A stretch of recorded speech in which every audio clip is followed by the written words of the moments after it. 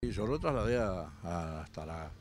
Eh, yo pasé la, casa, la supuesta casa, porque yo no sabía dónde era la casa de él. Y yo pasé y me, él me hizo doblar por una esquina y yo quedé esperándolo. Porque como iba tan tranquilo, yo la verdad que y nunca me había comentado nada. Yo lejos de, de llevarlo si me comentaba alguna vez algo. Nunca, nunca, nunca. Usted lo quedó esperando por misiones. Lo esperé por misiones, sí, sí, más o menos. Pero no habrá demorado más de 5 o 6 minutos. Porque yo ya lo había adelantado que tenía un viaje. Digo, mirá que hacer la corta, digo, porque yo tengo.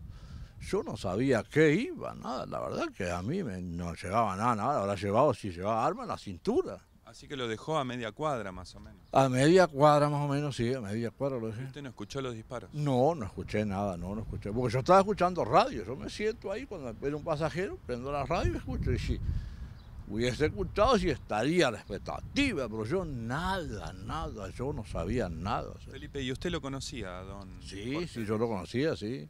Un vecino de, acá, de, Villadera, sí, sí. Yo tenía boliche antes, era sido al boliche, todo conocido el barrio, albañil también. Así que sí, yo lo conocía. ¿No sospechaba usted que él podía cometer un hecho? No, nunca se sabía, se había, se había separado con la mujer acá propia de él, pero nunca se sospechaba eso, nunca, nunca.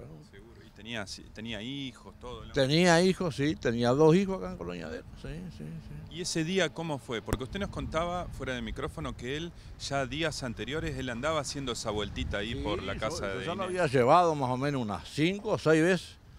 Así yo lo llevé y ¿Qué hacía él ahí? No, él pasaba, él pasaba y miraba para la casa, para la supuesta casa, porque yo no sabía que era la casa de ellos.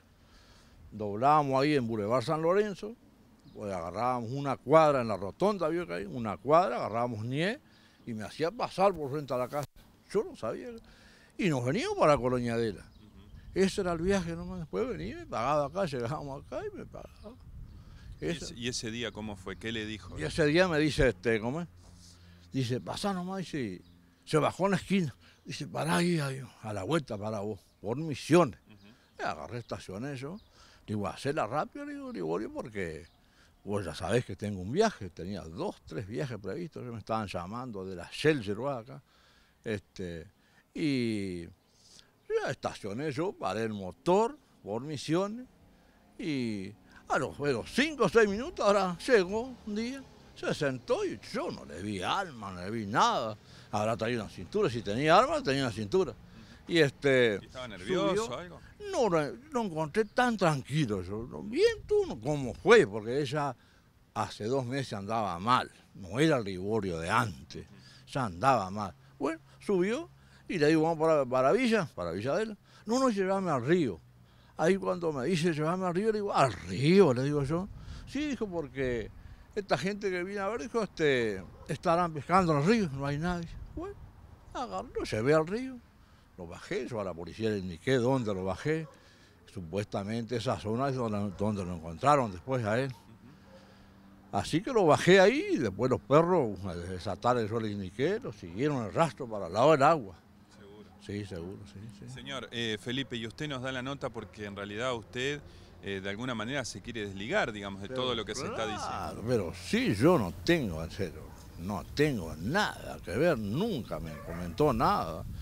Un ejemplo, yo como remisero, sube un pasajero, no le voy a andar preguntando dónde va, dónde va sí, pero bueno, ¿qué va a hacer? ¿Qué, ¿Con quién se va a encontrar con esto? No, yo lo llevo y y lo esperé tranquilamente. más que sean compañeros, amigos. no, él no me contó nada, ¿no? Y de camino íbamos hablando, le gustaba mucho hablar de política y de fútbol, nada más, lo único no, no.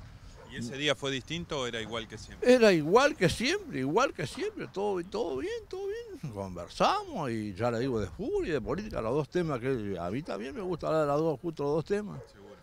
Pero nada más, todo tranquilo.